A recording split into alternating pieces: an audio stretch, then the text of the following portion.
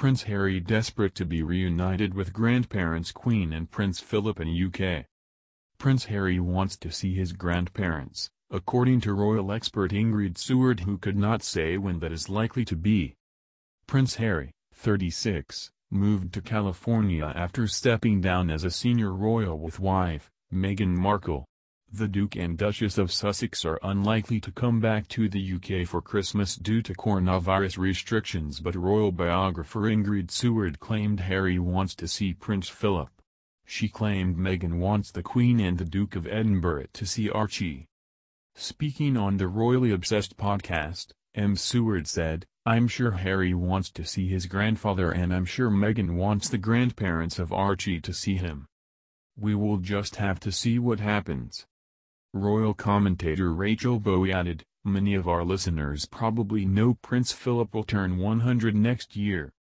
Any chance of a bigger royal reunion? I know COVID-19 is a variable but we're curious to talk about that.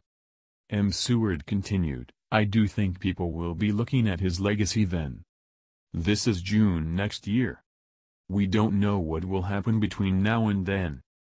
I think one thing that is a great legacy that Prince Philip will leave is that he was the first person in the royal family to speak out about the environment.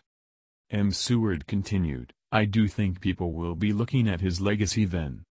This is June next year.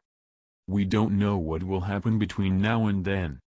I think one thing that is a great legacy that Prince Philip will leave is that he was the first person in the royal family to speak out about the environment.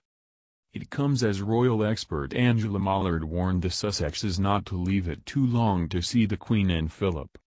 Speaking on New Ideas Royals podcast, Ems Mollard said, You know what? If we do not see them together at Christmas there is all hell breaking loose with that family. I think we'll see them in some kind of PR setup between now and Christmas. I think they can't leave it too long. That said, Harry did make those very provocative comments about the fact he and William were on different paths.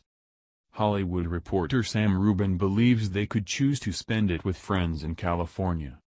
He explained the pair are well connected in the U.S. and many of their friends have big lavish estates.